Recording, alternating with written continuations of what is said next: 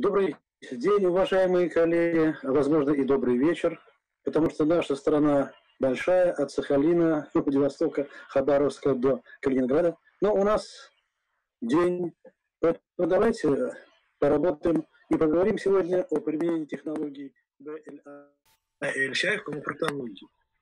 Э, года четыре тому назад, или, наверное, уже пять лет тому назад, на Европейском конгрессе эндоскопическом я увидел вот именно это изделие. А что это? Колоноскоп с э, узким спектром света.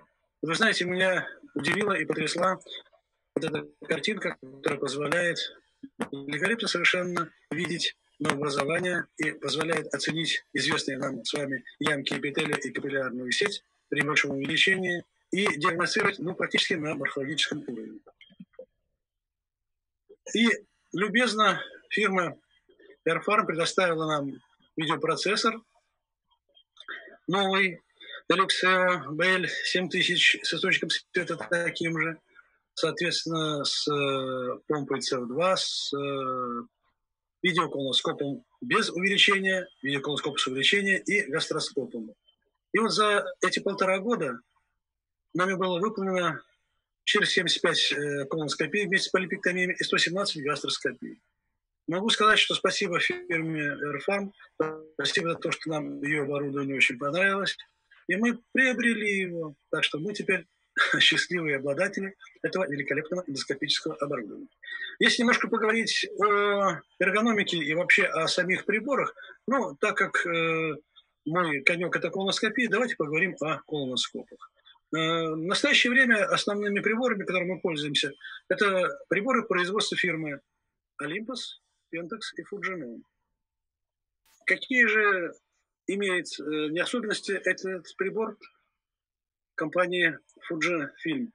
Э, он мягкий, примерно по мягкости, жесткости близок к колоноскопам фирмы Olympus колоноскопы фирмы Pentax, они жесткие. Ну, возможно, вот этой жесткости их достоинство. Но вы знаете, вот в этой мягкости, которой обладают колоноскопы э, Fujifilm, тоже своя прелесть, потому что они позволяют идти немножко по петлям, таким образом, чтобы пациент не ощущал болевых, болевых ощущений, если так можно выразиться.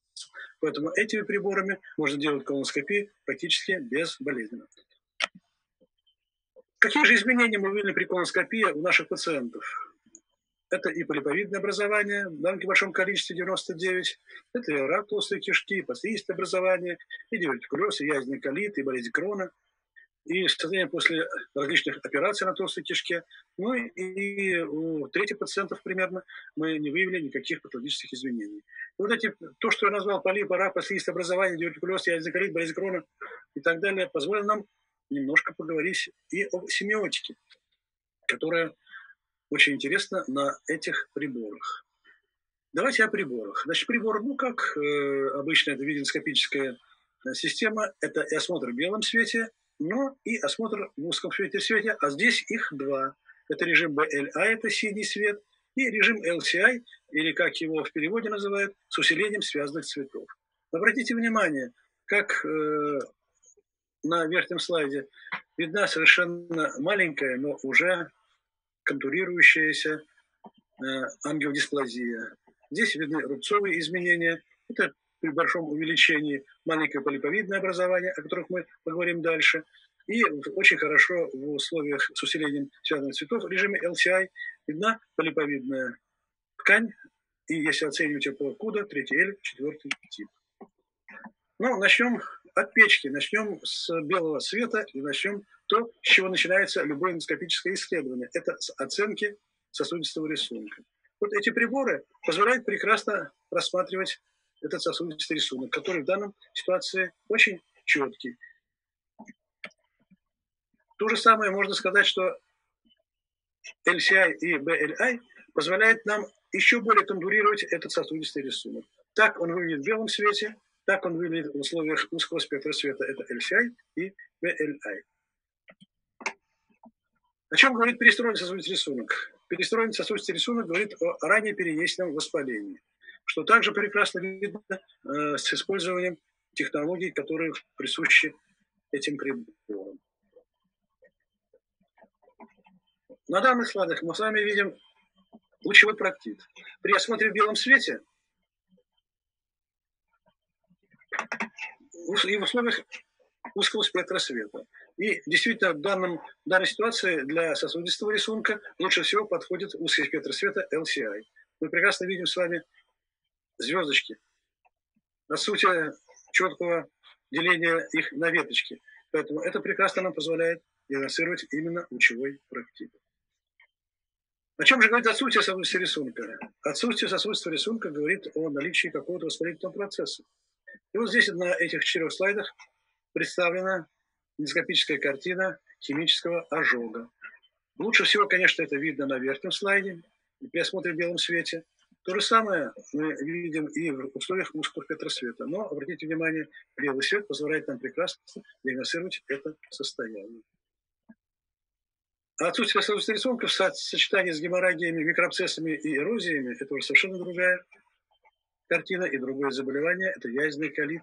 Обратите внимание, как хорошо видно это состояние при осмотре в белом свете. Видны мелкоточные геморрагии, видны микроабсцессы. И вполне можно поставить здесь э, минимальную степень активности этого язвенного колита.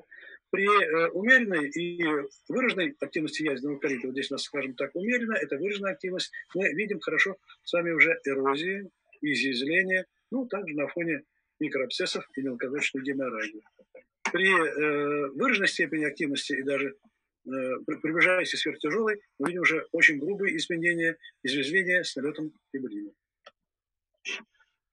Мне очень э, хочется заняться семиотикой, но пока еще не хватает немножко э, большого количества материала, чтобы разобраться, что же нам даст э, осмотр в узком спектре света с увеличением.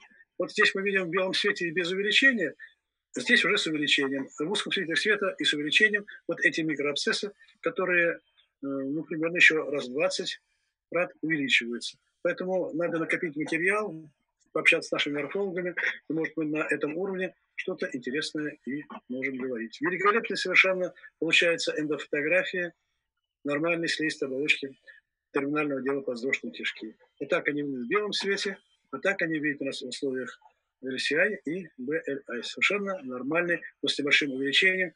Но обратите внимание, какое количество же у нас этих ворсинок в тонкой кишке. Какая же площадь поверхности их? Я так думаю, наверное, больше нашего земного шара, если их всех расправить. Болезнь Крона также прекрасно видна на этих э, слайдах. Здесь вот картина перенесенной ранее выраженной формы болезни Крона. Мы видим с вами рубцовые изменения в куполе слепой кишки это вот илиоцефальный клапан. А здесь мы видим с вами э, при осмотре узком спектре света, это в условиях BLI и LCI. Э, это полиповидное образование, которое мы трактуем как псевдополип. То есть это слизистая оболочка. И смотрите, действительно, в условиях увеличения мы с вами смотрим на это образование. Здесь ямки эпителия, которые хорошо видны, они могут трактоваться у нас как первого типа, то есть это слизистая оболочка, несмотря на то, что это, казалось бы, полиповидное образование. Поэтому эти уточняющие технологии, такие как узкий спектр и увеличение, позволяют нам правильно диагностировать выявленные образования. Давайте перейдем к эндоскопической диагностике этими приборами полипоидных образований. Ну, начнем с того, что так выглядит гиперпластический полип в условиях осмотра в белом свете и в узком свете света LCI и VLI без увеличения. Мы не видим ямки эпителия, мы практически не видим капиллярную сеть, которая немножко видна при узком свете света. Это действительно гипотетические образования. То же самое прекрасно видно в условиях оптического увеличения, которое позволяет делать данные приборы. То есть ямки эпителия примерно э, второго типа по уда, что соответствует гипотетическим изменениям. Зубчатая аденома при осмотре в белом свете, без оптического увеличения, мы видим полиповидное плоское, неполиповидное образование, несколько возвышающееся над э, уровнем окружающей слизистой оболочки. Но обратите внимание, уже даже при осмотре в белом свете и без увеличения мы видим ямки эпителия, которые более всего соответствуют второму типу ямок эпителия по Текимура. То же самое видим в условиях оптического, э, без оптического увеличения, но при осмотре в узком фильтре света прекрасно видны эти два О открытые ямки, ну и которые великолепно видны, конечно, при оптическом увеличении и в условиях осмотра в узком фильтре света. В белом свете едва заметное образование в слепой кишке, едва-едва заметное, которое контурируется, хотя это и нет увеличения, и осмотр в белом свете. Зато при использовании э, уточняющих технологий, таких как осмотр в узком фильтре света, это образование хорошо контурируется, а при увеличении видны ямки эпителия помимо второго 2О типа, то есть открытые. То же самое увидим при осмотре в узком свете света и с увеличением VLI. Великолепно совершенно эти ямки эпителия открытые. Поэтому мы с вами спокойно ставим что это образование по морфологической принадлежности соответствует сидячей звучной аденоме. Другого типа на образование – аденоматозные, но без увеличения. Это осмотр э, высокого света, цвета LCI, это BLI с небольшим увеличением. Ну, если присмотреться, действительно мы можем видеть ямки эпителия, напоминающие нам третий L или четвертый тип покуда. То есть здесь можем предположить в белом свете, что все-таки это аденоматозное образование. И прекрасно они контурируются э, при использовании узкого спектра света, а тем более узкого спектра света BLI в условиях оптического увеличения. Действительно, ямки эпителия, третий L или четвертый тип. То есть мы с вами можем вполне морфологическое поставить предположительное заключение, что это аденоматозное образование, хотя диаметр этого образования не более 4-5 миллиметров. Прямая кишка. Обратите внимание, осмотр произведен при ретрофлексии этого образования в прямой кишке. В белом свете мы видим с вами, ну, нечетко контурируются ямки эпителия и капиллярная сеть. Она регулярная, Скорее всего, скорее всего, соответствует где-то третьему L-типу и третьему S-типу, но при использовании оптических технологий мы с вами видим, что действительно это аденоматозное образование, ямки эпителия соответствуют третьему L-типу и местами третьему S-типу. Другой аденоматозный полип, который несколько больше по размерам, но это где-то около 6 мм, он также прекрасно виден и в белом свете, и в условиях узкого спектра света. И я еще раз повторяю, что действительно вот возможность предполагать морфологическое строение этих образований на основании оптической биопсии очень хорошо при осмотре в узком спектре света VLI. Это у нас с вами картинки без увеличения. И обратите внимание, как хорошо эти образования контурируются при использовании оптического увеличения.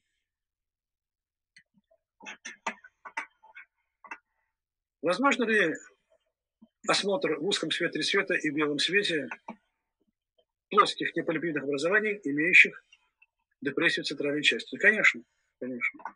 Вот это образование было выявлено только при э, помощи биопсийной цапки, которой удалось его расправить и показать вот эту часть центральную, где имеется депрессия и небольшая, э, э, лучше видная при условиях узкого спектра света – что здесь имеется, скорее всего, нерегулярность ямок эпителия, и поэтому здесь можно поставить пятый I-тип. То есть, возможно, имеется тяжелая дисплазия. Крупные образования, стелющиеся на образование, или, как сейчас модно говорить, ЛСТ образования, они также доступны для осмотра, для осмотра и хорошо видны при использовании этого оборудования.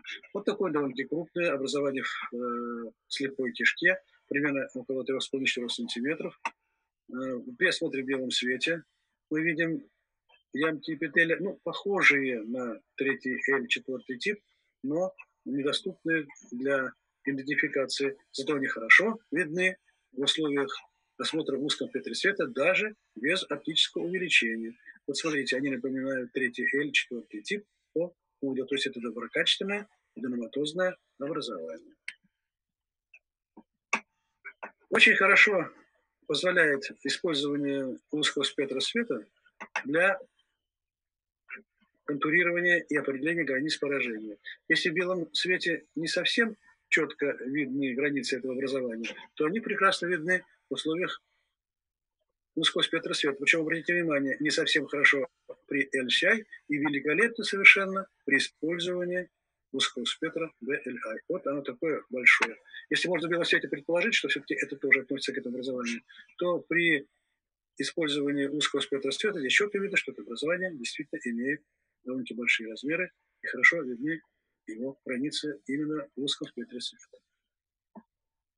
Рак оболочной кишки также при использовании белого света и узкого спектра света мы видим все изменения, и оценка их по классификации КУДа и САНа вполне соответствует тому, что мы с вами видим. Итак, здесь видно, что это ямки эпителия нерегулярные, бесструктурные, соответственно, они, возможно, в белом свете хоть и нет увеличения и нет окрашивания, а оценка ямок эпителия покуда требует и того, и другого, можно предположить, что они нерегулярные и даже бесструктурные. То есть здесь все, э, скорее всего, будет пятый М-тип, то есть глубокая инвазия. То же самое мы видим с вами при использовании узкого фильтра света LCI, а тем более при оценке этого образования при узком спектре света BLI. Действительно, ямки эпителия бесструктурные, соответственно, здесь пятый N-тип покуда, то есть глубокая инвазия.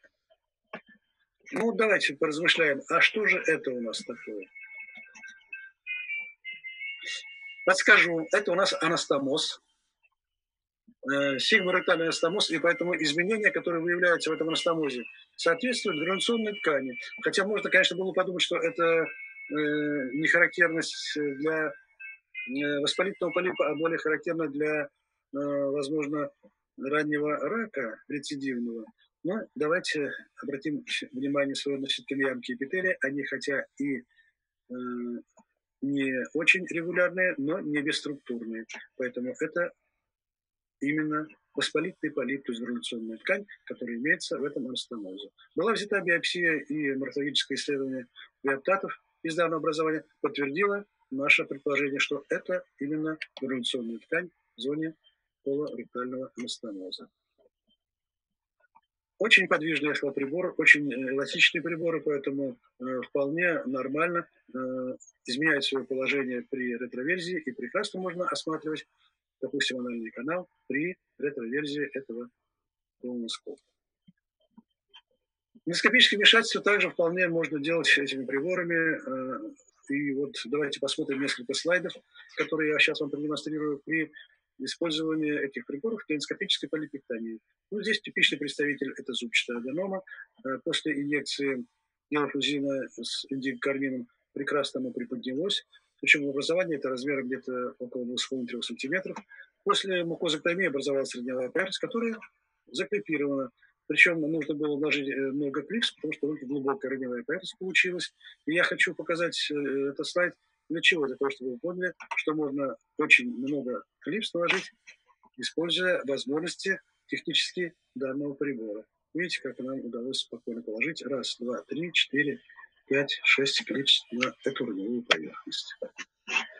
Э, возможно также удалить на образование с использованием термической петли накидыванием на эту очень короткую, но толстую ножку. Вот обратите внимание, какая хорошая получается раневая поверхность и, соответственно, то же самое возможности ее клипирования. Спасибо за внимание.